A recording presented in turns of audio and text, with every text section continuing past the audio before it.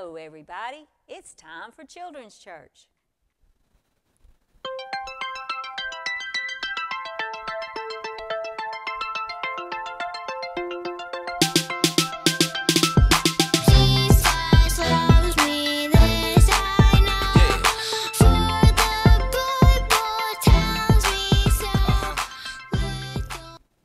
Good morning.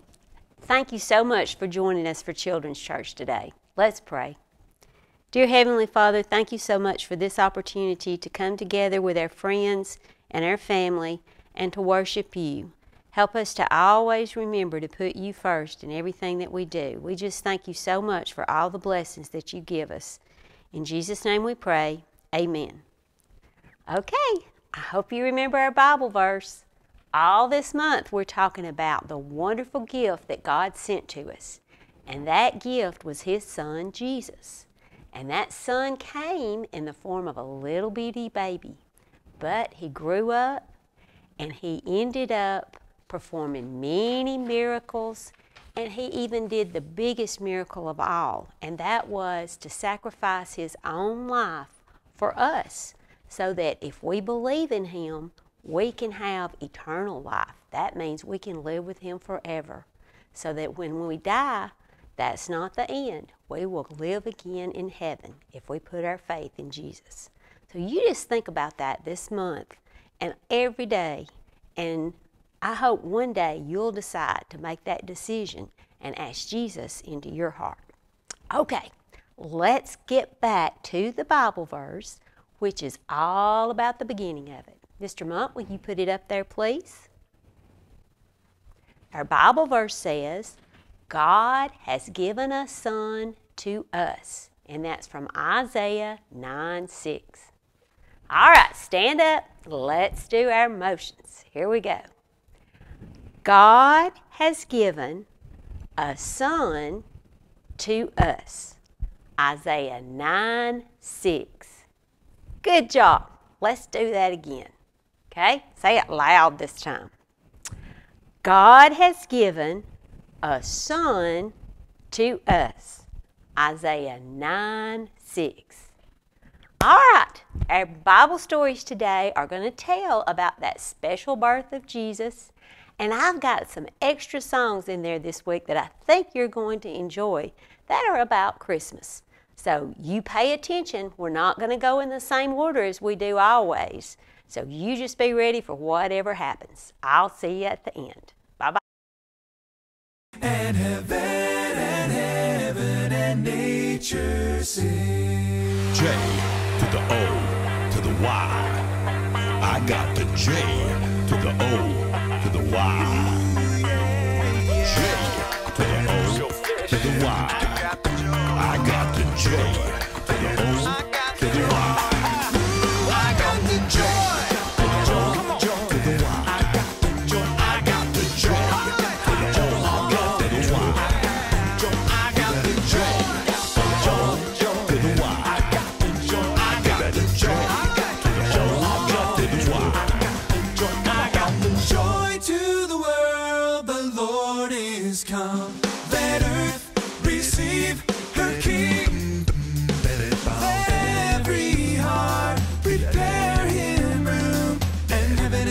nature sing. And heaven and nature sing.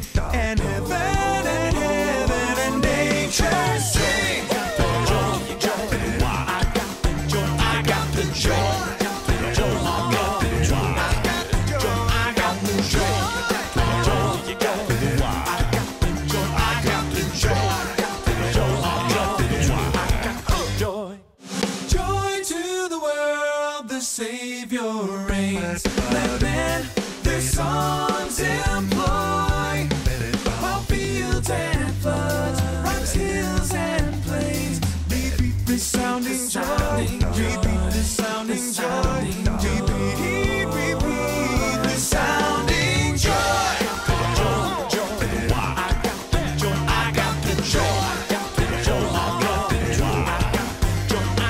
I got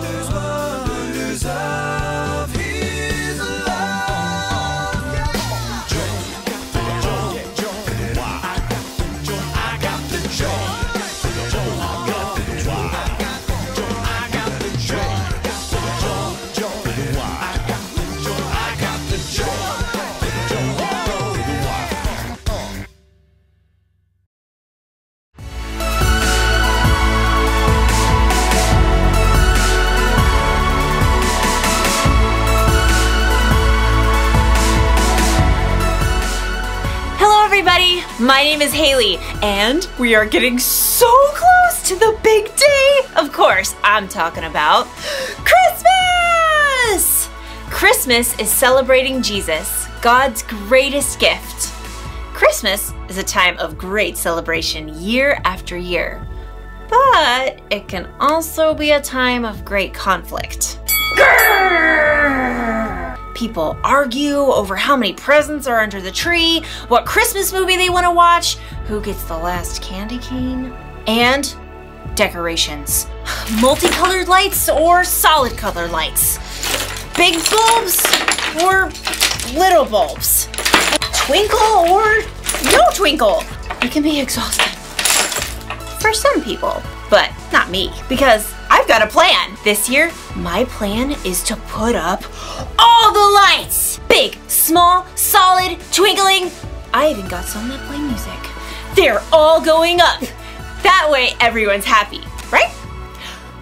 Let's get to work.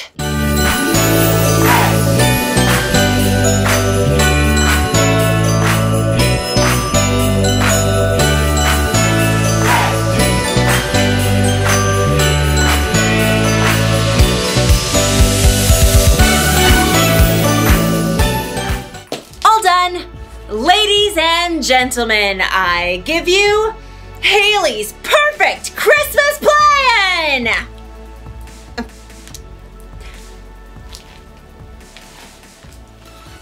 Oh, what, what did I? Uh, well, here we go. One more time. one more time. One more time. Haley's perf. Haley's Christmas plan. Haley's perfect Christmas plan. It's perfect! Just want to say, God! Oh no. Ugh, the lights aren't working. You know what that means. If one light is out, then they all go out. So, somewhere in this extravaganza of light, there is a single light bulb that is not working. Ugh, I should have planned this out better. Wait a second. Good thing I have one of these. A light bulb tester. I just have to test each bulb. All of 2,875 of them. Woo! All right. In today's story, a young lady named Mary is put to the test. Will she try to make it on her own, or will she trust that there's a greater plan? Hmm. Now, where to begin?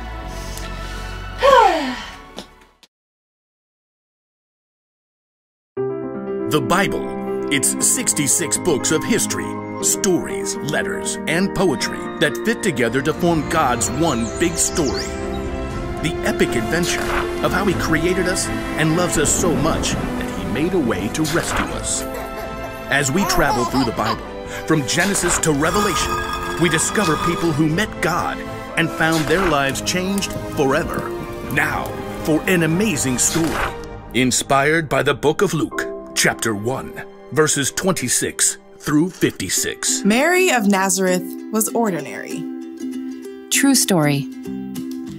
an ordinary young woman with an ordinary name, engaged to an ordinary carpenter named Joseph.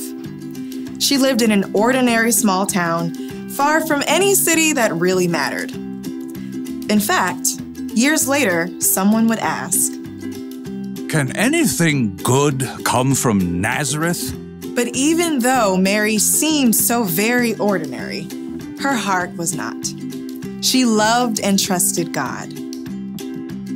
Even though her people had been ruled over by the Romans for centuries, Mary believed God's promise that someday he would send a rescuer. Blessed are you, O God, our Lord, King of the universe. But no matter how much Mary loved God, she could never have predicted what would happen one ordinary morning. Dishes cleaned, floor swept, need to fetch water from the well. Mary's morning chores were interrupted by a shimmering flash of light. Oh, A blazing angel stood before her. Its presence seemed to fill the entire room. Mary, the Lord has blessed you in a special way. He is with you. I. I don't understand. Do not be afraid, Mary. God is very pleased with you. God is pleased with me? You will become pregnant and give birth to a son. You must call him Jesus. He will be great, the Son of the Most High God. The Lord God will make him a king like his father David of long ago. His kingdom will never end. Dozens of questions raced through Mary's mind. How can this happen? I'm not even married yet. The Holy Spirit will make it happen. In fact, your relative Elizabeth is going to have a baby, even though she is old and people thought she could not have children. That's because what God says will always come true. Mary's mind was still reeling, but she knew she could trust God through all of it. I serve the Lord. May it happen to me just as you said it would. The angel left, the room dimmed. Mary sat down to gather her thoughts. A baby. God's son? I've got to see Elizabeth. As quickly as she could, Mary found a group traveling to the hill country of Judea where Elizabeth lived. After long days on the road, Mary reached the home of Elizabeth and Zechariah. Why, it's Mary! Mary hugged her much older relative. Elizabeth, you really are going to have a baby. As Mary spoke, Elizabeth's baby kicked and rolled inside her. Oh, God has blessed you more than other women, and blessed is the child you will have. Why is God so kind to me? Why has the mother of my Lord come to me? How how did you know? As soon as I heard the sound of your voice, the baby inside me jumped for joy. You are a woman God has blessed. You have believed the Lord would keep his promises to you. Could I stay with you for a while? Of course! It's too quiet around here anyway. Why's that? Zachariah hasn't said a word in more than six months. My goodness. Long story. He met an angel. Gabriel? That's the one. Come in, sit down, have some tea. During the time Mary stayed with Elizabeth, the joy in her heart overflowed. My soul gives glory to the Lord. My spirit delights in God, my Savior. He has taken note of me even though I am not considered important. He has always remembered to be kind, just as He promised to our people long ago. Mary was just beginning to see how God's amazing plan would unfold. She stayed with Elizabeth for three months and then she returned home.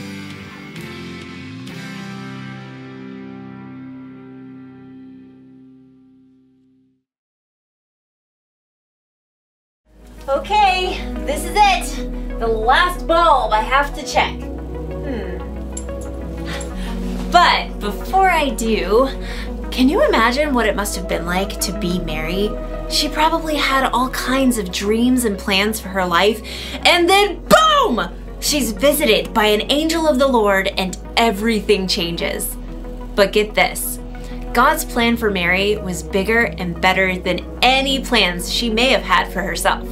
She went from being Mary, an ordinary girl from the city of Nazareth, to Mary, the girl we read about every year who carried God's Son into the world. That's some plan. This may surprise you.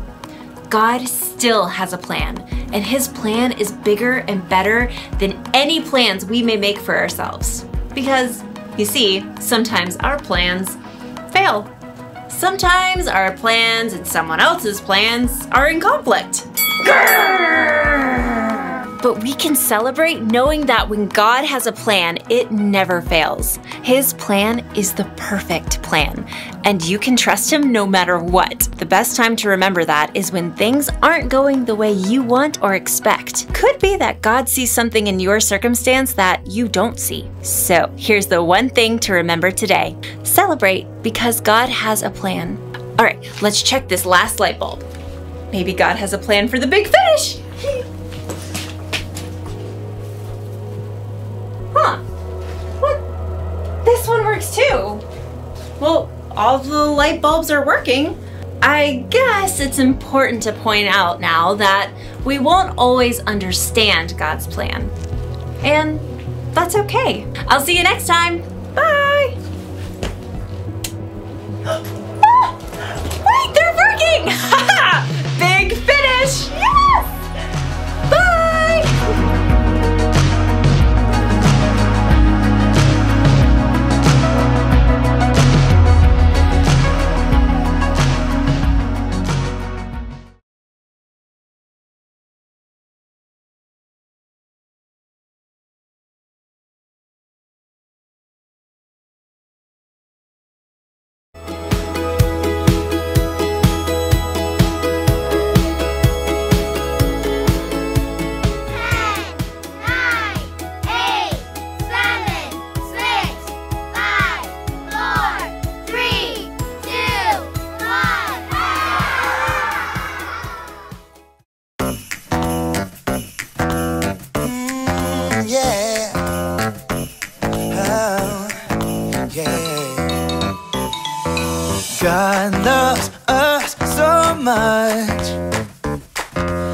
He sent us his son.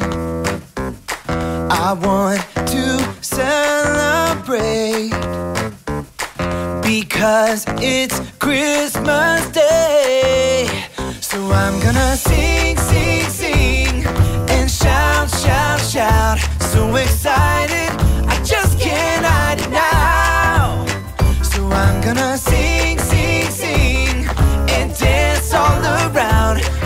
Jesus is what Christmas is about.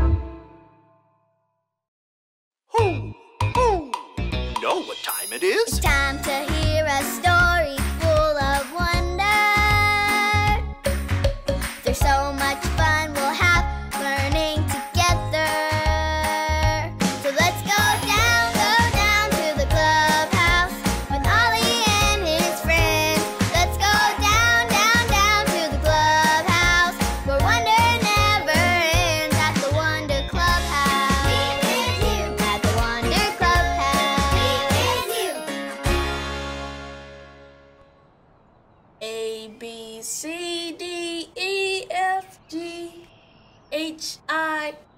Oh, hi, friends. I'm Hayden. I I found this great box of alphabet magnets while decorated for Christmas, so I'm putting them all in order. Can you sing the alphabet song with me? A, B, C, D, E, F, G, H, I. I've got to put up the rest of the letters. What comes after I? H, I, J. That's it. Now we have to find the letter J. Is this the letter J? no, this isn't a J. Is this a letter J? No, this isn't a J. Is this the letter J?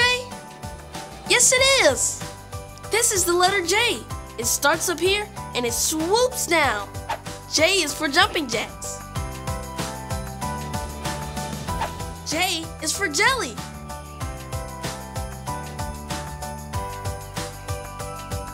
Yum. The letter J is so great, I'm putting it right here after the letter I. It's Ollie. Hello, Hayden. Hoo. Working on the alphabet, are you? Oh, hi, Ollie. We got all the way to the letter J. Learning your letters is great. It's true. And I have an amazing J word for you. Listen to this story. Just follow me through. Hoo, hoo. Follow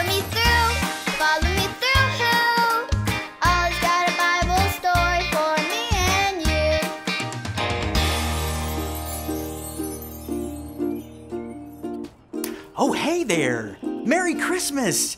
I'm Justin the mailman. Look at all of these Christmas cards.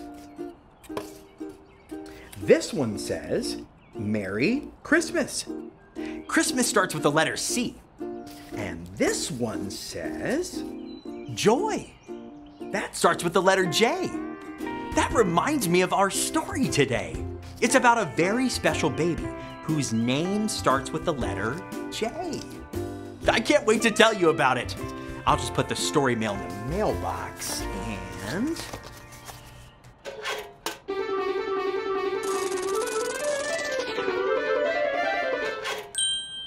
Today's part of the true story of Christmas begins with Mary and Joseph. They lived in the town of Nazareth, but they needed to go all the way to the city of Bethlehem to be counted. You see Bethlehem all the way back there? That's where Joseph was from, and that's where they needed to go. But Mary was going to have a baby. That means she couldn't walk all that way. She needed a ride. What do you think Mary rode to Bethlehem? Do you think she took the bus? No. Did she ride on the train? No, she didn't ride the train. She didn't ride a bus or a train. She probably rode on an animal, like a donkey. What does a donkey say? Hee haw, hee haw. Okay, on to Bethlehem. Once Mary and Joseph got to Bethlehem, they needed to find a place to stay. So they looked around the town for somewhere to rest. They knocked on door A. But there wasn't any room there. They knocked on door B. But there wasn't any room there either. Oh no, where are Mary and Joseph going to stay? They knocked on door C. Oh, wow! The innkeeper didn't have any room inside, but he told Joseph and Mary that they could stay in his stable. Now, a stable is a place where people keep their animals, and it was in that stable with all of the animals that something amazing happened. A very special baby was born, and Mary named him Jesus. J is for Jesus. Everyone say, J is for Jesus. J is for Jesus. God loves us so much that he gave us Jesus. Oh, hey there, Ollie. Tell me, how do we know God loves us? God gave us Jesus. Yes, it's true. Now let's hear it from you. Tell me, how do we know God loves us? God gave us Jesus. That's the truth, friends. You better believe it. I'll see you next time. So there's your story, and it's all true. God gave us Jesus for me and for you. Thanks, Ollie. Goodbye to you. Hoo, hoo. Wow! Jesus was born in a stable. God loves us so much that he gave us Jesus. I think I got the story. Did you get it? If you did, say got it. Get it? Got it! Good! I know what else J is for. J is for Jesus. Bye. See you next time.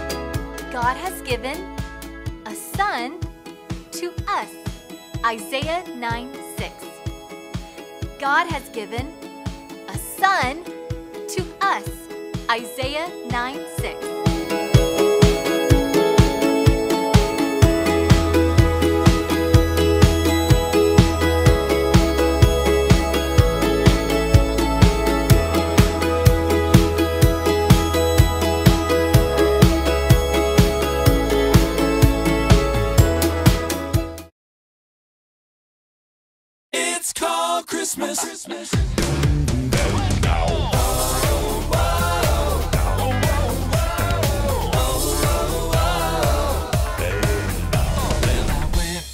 Coffee shop to get myself a mocha. The lady at the counter said, Happy holidays. I said, Thanks, lady. I am pretty happy, but there's only one holiday that makes me feel that way. And called Christmas. What more can I say? It's about the birth of Christ, and you can't take that away. You can call it something else, but that's not what it'll be. It's called Christmas with a capital C.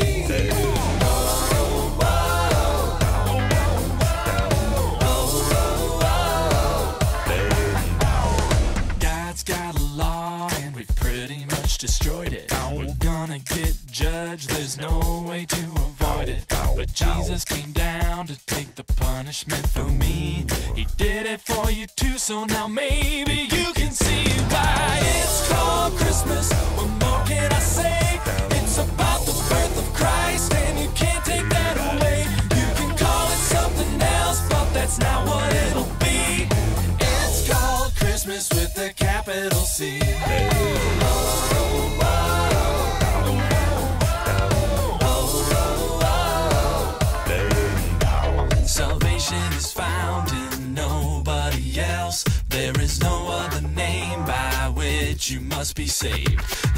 gospel is true, even if you don't believe it. I'm not ashamed of the name above all names. And that's why it's called Christmas. What more can I say? It's about the birth of Christ, and you can't take that away. You can call it something else, but that's not what it'll be. It's called Christmas with a capital C.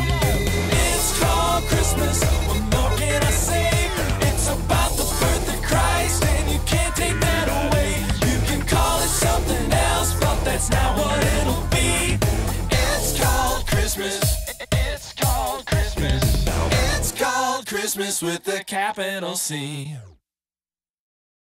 Thank you again for joining us today. I hope you had a good time, and I hope you celebrate Jesus' birth all this month. Let's pray. Dear Heavenly Father, thank you so much for that precious gift that you've given us. Help us to share your love with others. In Jesus' name we pray. Amen. All right. I started not to do a joke this week because we went a little bit longer, but I just couldn't leave you without one. Here it is. What did Adam say the day before Christmas? Do you know, Mr. Monk? He does, but he's not telling. On the day before Christmas, Adam said, It's Christmas! Eve, I'll see you next week. Bye bye.